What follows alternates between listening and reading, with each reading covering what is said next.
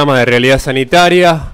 Hoy un programa muy cargado eh, que refleja la lucha de las trabajadoras y los trabajadores de la salud a lo largo y a lo ancho del país. Conversamos al principio con Juan Paz desde Tucumán, eh, luego lo hicimos con Ricardo Alegretti de Rosario, eh, por último con Gastón Machiani, recientemente electo secretario general de la Unión de Trabajadores de la Salud en la provincia de Córdoba. Y ahora estamos en comunicación con la licenciada Marta Márquez. Eh, ella es licenciada en, eh, en Trabajo Social por la Universidad Nacional de Lomas de Zamora y es integrante de la comisión directiva de la CICOP, que es el sindicato de las trabajadoras y los trabajadores de la salud de la provincia de Buenos Aires. Hola Marta, ¿estás ahí?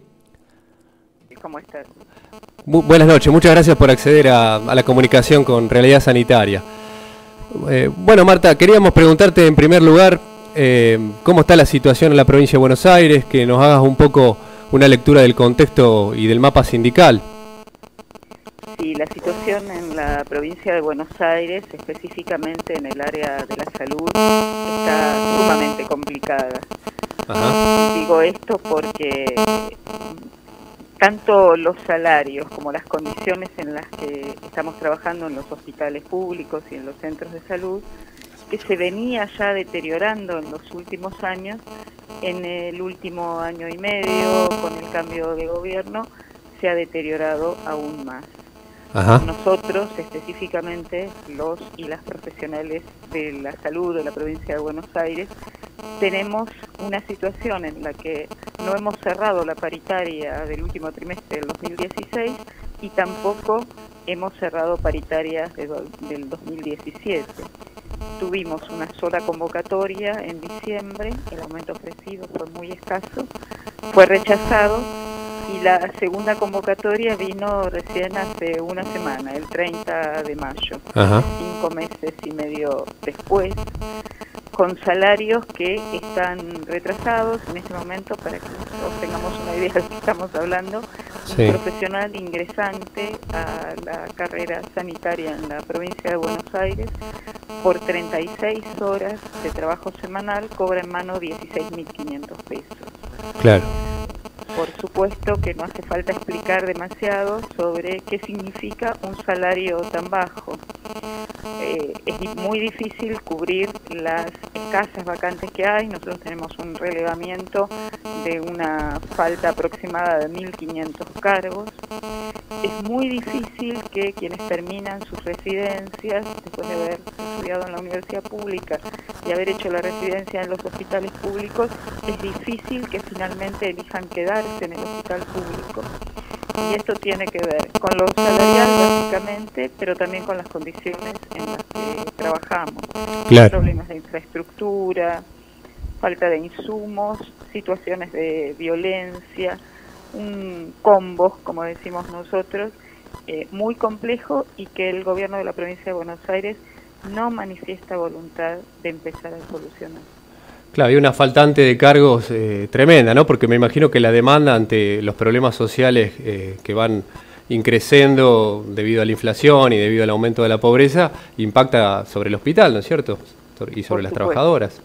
Sí, sí, nosotros vemos que así como faltan cargos, digo, y tenemos servicios a cargo de uno o dos profesionales, también observamos cómo aumenta la demanda, como bien decís, en los hospitales y centros de salud pública.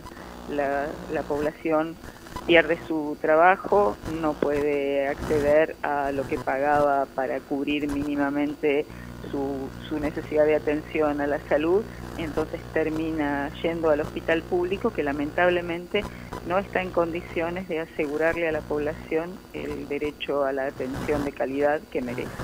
Claro. Y te cambio un poquito de, tema, Marta, aprovechando que vos sos mujer y que desde el sindicato han venido realizando actividades en relación al Ni Una Menos y en relación a, género y bueno, tienen una secretaría, ¿verdad?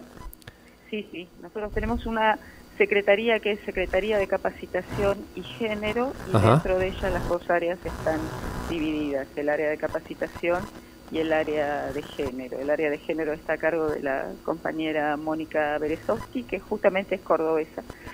Eh, así que eh, en realidad eh, lo que ha hecho SICOP es darle mucha importancia al área de género. Tenemos un grupo de compañeras, de Mónica Cordina, pero tenemos un grupo de compañeras y compañeros también, tenemos al menos un par de compañeros que participan de este espacio y que van llevando adelante distintas actividades. Sí, venimos de participar el sábado en la movilización Ni Una Menos y, además tenemos hacia adelante que viene no el otro dentro de nuestra de nuestra serie de jornadas de capacitación o formación sindical justamente una jornada dedicada a, a género pero bueno el trabajo es constante más allá de, las fechas es una construcción colectiva que, que, ha hecho SICOP y a la que nosotros le damos muchísima importancia.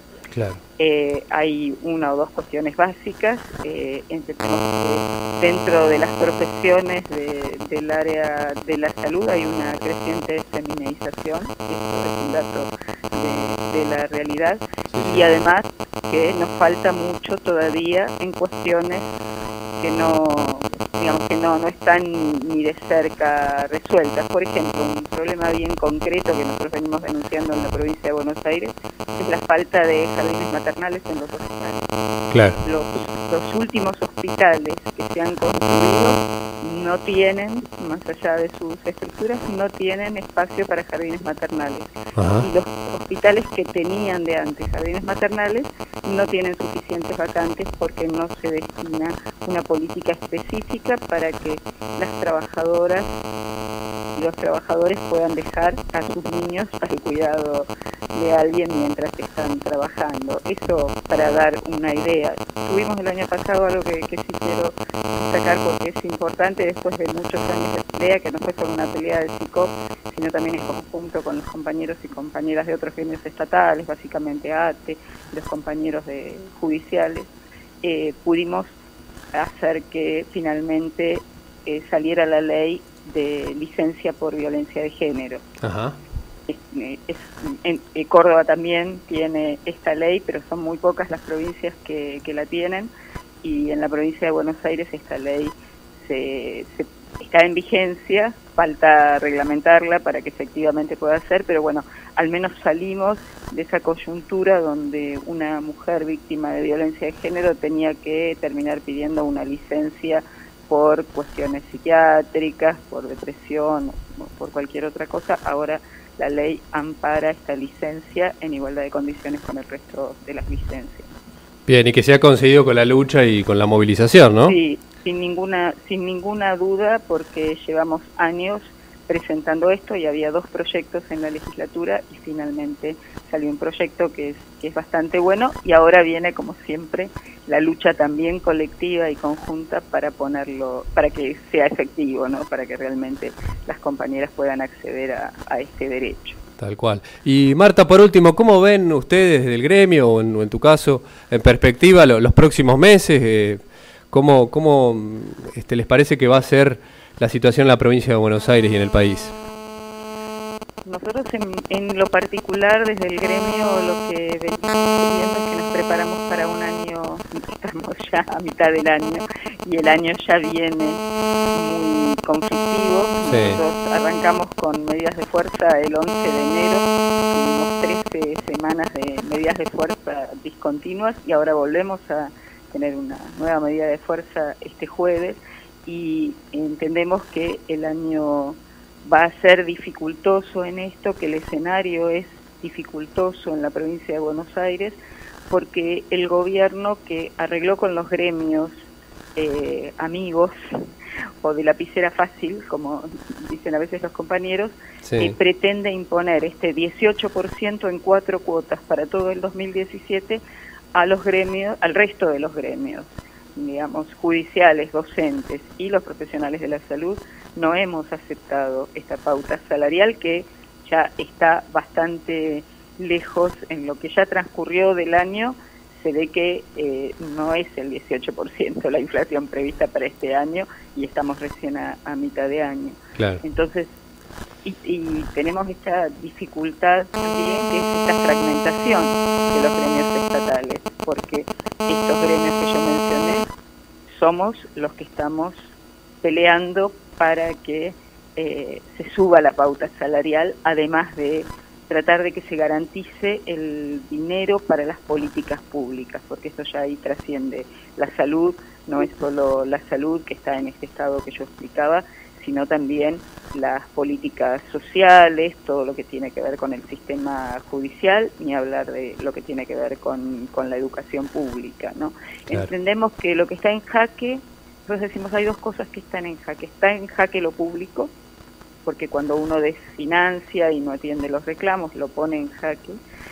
Está en jaque el derecho de la población a recibir la mejor educación posible, la mejor atención sanitaria posible, pero también está en jaque la organización de los trabajadores.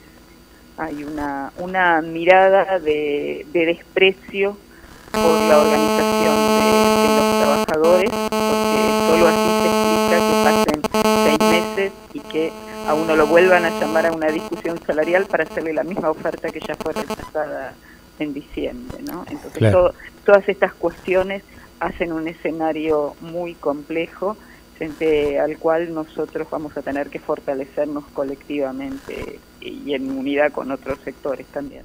Excelente. Marta, te agradecemos enormemente la comunicación con Realidad Sanitaria. Hoy un programa dedicado a las trabajadoras, los trabajadores y sus organizaciones. Y seguramente vamos a estar en contacto contigo más adelante.